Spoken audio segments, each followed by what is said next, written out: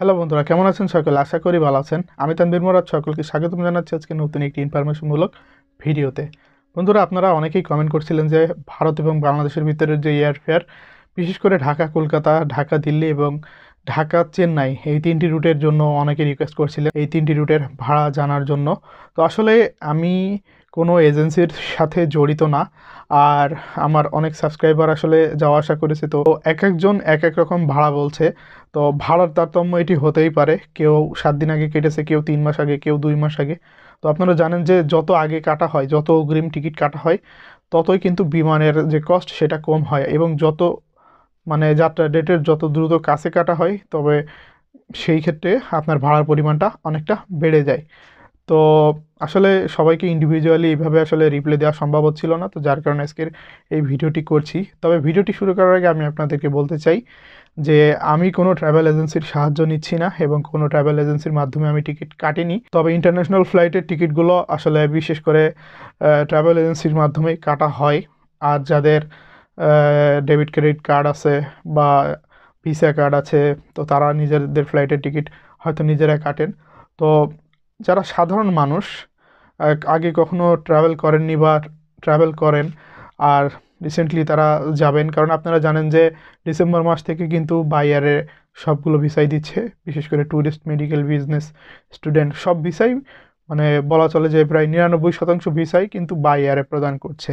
তো আজকের ভিডিওর মাধ্যমে আমি আপনাদেরকে একটি ওয়েবসাইটের সাহায্য নিয়ে আপনাদেরকে আমি ঢাকা, কলকাতা, ঢাকা, দিল্লি এবং ঢাকা টু চেন্নাই এই তিনটি রুটের ভাড়া আপনাদেরকে আমি দেখাবো। কাছের ডেটের ভাড়াও দেখাবো এবং দুই মাস পরে গেলে বা এক মাস পরে আসলে টিকিট কাটলে আপনাদের ভাড়ার পরিমাণটা কেমন আসে সেটি দেখাবো। তবে আরেকটি কথা বলে রাখি, ওয়েবসাইটের সাহায্য নিচ্ছি যেহেতু ভাড়া কিন্তু তারতম্য হতে পারে। বাস্তবে হয়তো কমও হতে পারে অথবা বেশিও হতে পারে। আর এই ওয়েবসাইটের মাধ্যমেও টিকিট আপনারা কাটতে পারবেন, যে রেটটি দেখাবে ওই রেটেই আপনারা কাটতে পারবেন, সেটাতে কোনো সমস্যা নেই। তবে আপনারা যদি ফিজিক্যালি কাটতে যান কোনো একটি ট্রাভেল এজেন্সির মাধ্যমে অথবা নিজেরা, তাহলে সেই ক্ষেত্রে ভাড়া কম বেশি হতে পারে, এটা স্বাভাবিক। বন্ধুরা, আপনারা জানেন যে ভারত এবং বাংলাদেশের ভিতরে যে আন্তর্জাতিক ফ্লাইট মানে আগে নির্দিষ্ট করোনার আগে কিন্তু ভারত এবং বাংলাদেশের ভিতরে দিনে বিশ থেকে বাইশটা ফ্লাইট চলাচল করতো।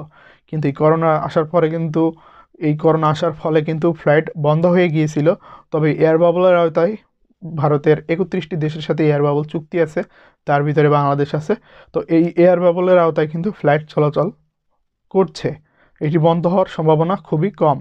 তো এয়ার বাবলের আওতাটা হচ্ছে আপনারা অনেকগুলো ভিডিওতে আসলে জেনেছেন যে নির্দিষ্ট পরিমাণ বিমান এখন কিন্তু সপ্তাহে একুশ অথবা বাইশটা এরকম বিমান বাংলাদেশ, ভারতের ভিতরে চলাচল করছে। তবে পরবর্তীতে হয়তো বাড়তেও পারে। আর এয়ার বাবলের আওতার বিমানগুলো মূলত ট্রানজিট থাকে না। যেমন দুবাই থেকে কোনো বিমান বাংলাদেশে এসে বাংলাদেশ থেকে আবার ভারতে যাচ্ছে। কিন্তু রিসেন্টলি শুনছি এমন চালু হয়েছে বাংলাদেশ থেকে ফ্লাই করে কলকাতা যাচ্ছে। কলকাতা থেকে যাত্রী নিয়ে আবার সেটি চেন্নাই অথবা দিল্লিতে যাচ্ছে। তো এই ট্রানজিটটি মূলত হয়তো আছে। দু একজন আমাকে বলল। তো চলুন, আর আরেকটি কথা আপনাদেরকে আমি বলব।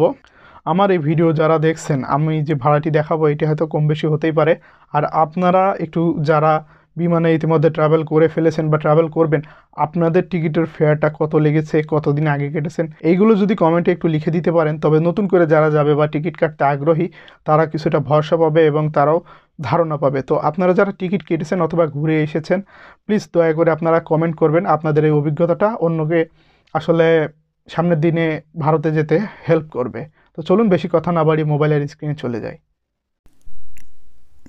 বন্ধুরা, এখন আমি চলে আসলাম মোবাইল স্ক্রিনে আর এখন আমি আপনাদেরকে দেখাবো আপনারা মোবাইলের মাধ্যমে কীভাবে ওয়েবসাইটের মাধ্যমে টিকিট কাটতে পারবেন অথবা টিকিটের প্রাইস তো প্রথমেই চলে যাচ্ছি, দেখেন, আমি ক্রোম ব্রাউজারে লিখছি ফ্লাইট এক্সপার্ট ডট কম সেখানে, এবং এটা এখন কম্পিউটার মোডে আছে, এটাকে আমি এখন মোবাইল মোডে নিয়ে আসলাম, এবং দেখেন সার্চ ফর বেস্ট ফ্লাইট এই ওয়েবসাইটের মাধ্যমে আপনি আপনার পছন্দের আর কি ফ্লাইটগুলো দেখে নিতে পারবেন বা খুঁজে নিতে পারবেন। তো এখানে দেখেন from to departing adult children ঠিক আছে?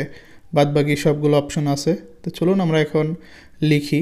ঢাকা থেকে যেহেতু সবাই যাওয়া আসা করে মোটামুটি, তো ঢাকা ইন্টারন্যাশনাল এয়ারপোর্ট ঢাকা লেখার পরে বাকিটুকু চলে আসবে। এই ওয়েবসাইটের এটা একটা সুবিধা। তো প্রথমেই ঢাকা এবং কলকাতা।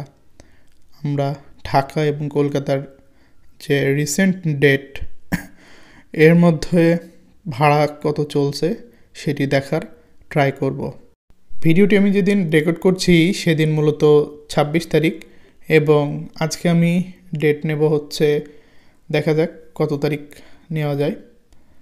তো এখন সিলেক্ট করব ডেট খুব সম্ভবত ডিসেম্বর যেহেতু চলছে চলুন দেখি, আমরা জানুয়ারির এক তারিখ নিয়ে দেখি। তো জানুয়ারির এক তারিখ নিলাম from Dhaka to Kolkata.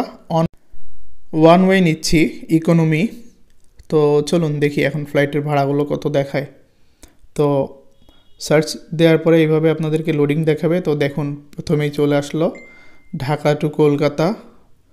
প্রথমে আসছে ইউএস বাংলা, ষোলো হাজার তিনশো সাতষট্টি টাকা। এগুলো কিন্তু রিফান্ডেবল দেখেন ভাড়ার নিচে লেখা আছে। তারপরে ইন্ডিগো এয়ারের একটা আছে, সাতাশ হাজার একশত পঞ্চাশ। তারপরে ভিস্তারা আছে, একত্রিশ হাজার চারশত একত্রিশ টাকা।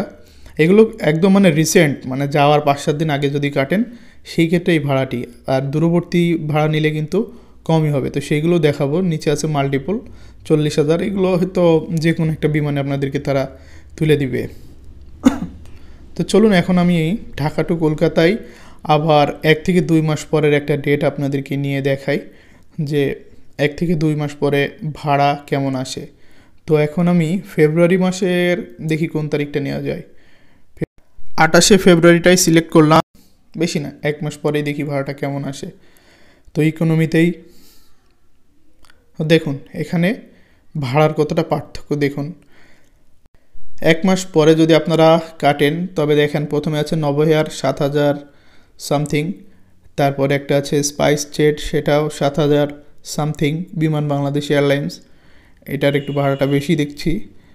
আর ফ্লাই দুবাই, এগুলো আমাদের না দেখলেও চলবে। কাতার এয়ারওয়েজ, এগুলো আসলে অনেক এক্সপেন্সিভ এবং এগুলো বিজনেস ক্লাস তো এক মাস আগের এবং এক মাস পরের ভাড়া ঢাকা টু কলকাতা। সেটি আপনাদেরকে দেখালাম। এগুলো কিন্তু আমি ওয়ান ওয়ে দেখাচ্ছি। একটাও কিন্তু রাউন্ড ট্রিপ না। তো এরপরে চলুন, আপনাদেরকে আমি এবার ঢাকা টু দিল্লি, ঢাকা টু দিল্লির এয়ারফেয়ারটি দেখাই। তো এখানে আবারও লিখতে হবে ঢাকা এয়ারপোর্টের নাম। তারপরে যেহেতু দিল্লি যাব অনলি দিল্লি লিখলেই হবে। এয়ারপোর্ট ওরা অটোমেটিক সিলেক্ট করে দেয়। ডিপার্টিং ডেট আর কি দেখি। আবারও হয়তো জানুয়ারির এক তারিখটাই দিয়ে দেখি কী অবস্থা। তো অ্যাডাল্ট একজন চিলড্রেন নাই বাদ বাকিগুলো সব ঠিক আছে ইকোনমি তো এখানে ঢাকা টু দিল্লি, এক জানুয়ারির ভাড়া দেখাচ্ছে একুশ হাজার সামথিং এবং ভিস্তারা। সেটাও আপনার পঁচিশ হাজার সামথিং এরপরে ইন্ডিগো তেত্রিশ হাজার সামথিং আর বাদ বাকি যে আছে মাল্টিপল এয়ার অ্যারাবিয়া এইগুলো এক্সপেন্সিভ এগুলো মূলত আসলে বিজনেস ক্লাস বা হাই ক্লাস মানুষদের জন্য, আমাদের মতো মধ্যবিত্তদের জন্য না। আর যদি আপনারা অ্যাফোর্ড করেন, অবশ্যই যাবেন, সেটা কোনো বিষয় নয়। তো চলুন এবার ঢাকা টু দিল্লির দূরবর্তী একটা ডেট আমরা নিয়ে দেখি। তো সেখানে ভাড়াটা কেমন আসে? বন্ধুরা, আমরা পূর্বের জায়গায় আবার ফিরে আসলাম এবং এখানে ঢাকা এয়ারপোর্টের নামটি আমরা লিখব এবং ঢাকা টু দিল্লি দিয়ে আমরা দূরবর্তী একটা ডেট নিব। মানে এক মাস পরের ডেটটি হয়তো আবার নিব এবং দেখব আবার ভাড়াটি কত আসে। চলুন দেখি।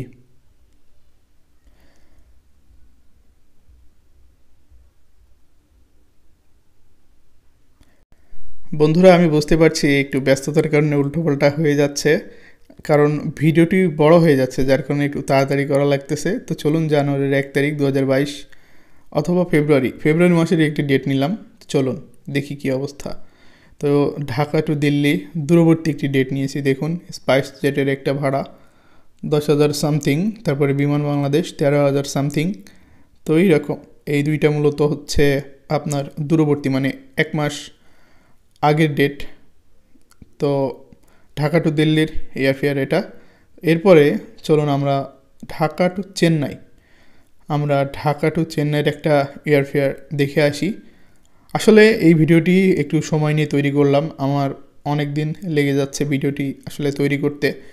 কারণ এটা অনেক কষ্টকর কাজ আর এইভাবে মনে হয় না কেউ আপনাদেরকে খুঁটিয়ে খুঁটিয়ে সময় নিয়ে দেখাবে।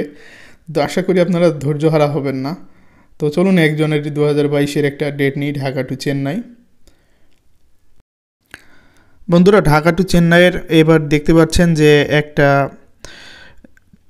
এয়ারফেয়ার আপনাদেরকে দিয়েছি ইন্ডিগো এয়ারলাইন্সের সেটা তিরিশ হাজার সামথিং এবং বিস্তারা আছে তেত্রিশ হাজার সামথিং এবং বাদ বাকিগুলো হচ্ছে মাল্টিপল এয়ার আপনাদেরকে যে কোনো একটা এয়ারে হয়তো তারা ট্রানজিটের মাধ্যমে উঠিয়ে দিতে পারে এই জন্য এরকম একটা ভাড়া দিয়েছে। তো ওই বিষয়গুলো আমরা না দেখি, উপরে যেগুলো আছে মূলত এই দুইটি। তো এবার দূরবর্তী একটা ডেট নেব। চলুন আবারও লিখি, ঢাকা টু চেন্নাই।